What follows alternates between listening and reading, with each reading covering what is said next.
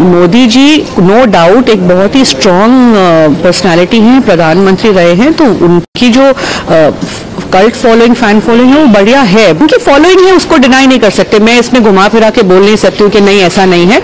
है। Ahmed Patel's daughter praising Prime Minister Modi. Uh, Mumtaz uh, Ahmed Patel, you know, was uh, campaigning for the Congress candidates and he, she was involved in Congress campaigns also. But this kind of statement is definitely endorsing Prime Minister Modi's work of development and other things that has been prominently visible in the state of Gujarat. And this statement is, you know, where we can understand how Ahmed Patel, who was the Chanakya for Congress, but he is not present at the moment and uh, her daughter endorsing such kind of a statement is definitely a big setback for the Congress.